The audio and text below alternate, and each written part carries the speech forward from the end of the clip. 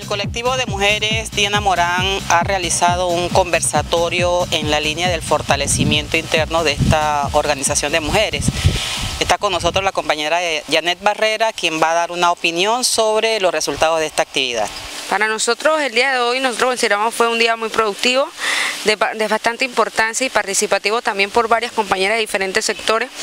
para nosotros esto es una plataforma fundamental también para el trabajo que se está haciendo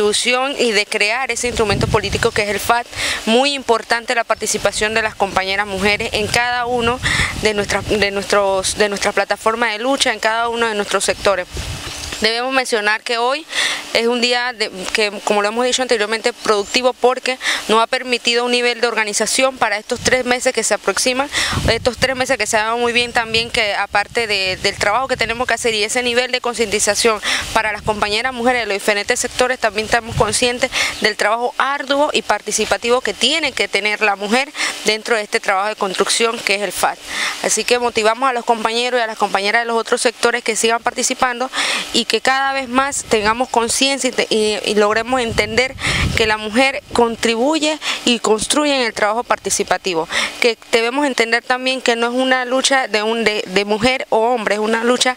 social y que ve muy bien que hoy en día nosotras como los hombres participaremos en este proyecto de construcción de una nueva sociedad y una nueva sociedad que realmente esté por los intereses de nuestro pueblo panameño.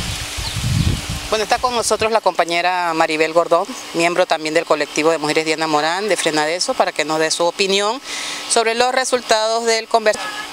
Bueno, yo creo que ha sido una jornada intensa, importante, en la medida que hemos podido establecer una planificación del trabajo que va a llevar adelante el colectivo de Mujeres Diana Morán de Frenadeso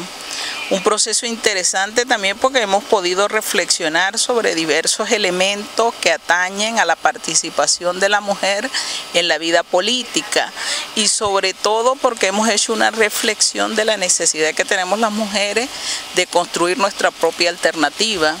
y esa propia alternativa pasa por involucrarnos en el proceso que está llevando adelante Frenadeso en conjunto con otras organizaciones sociales de Panamá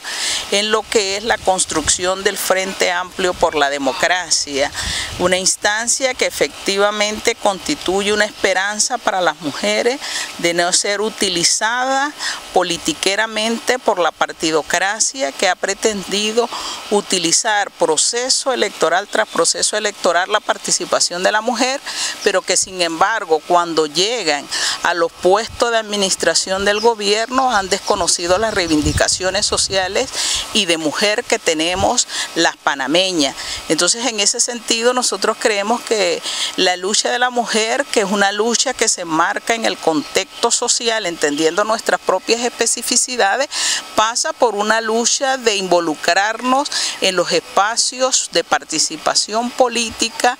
desde el movimiento social panameño, desde la construcción de una alternativa de poder electoral como lo viene desarrollando el Frente Amplio por la Democracia. Esa ha sido la reflexión en el día de hoy. Creo que se avanza en la participación organizada de las mujeres y convocamos efectivamente a mujeres de diversos espacios sociales a participar, a unirse en este esfuerzo alternativo de eh, la población panameña.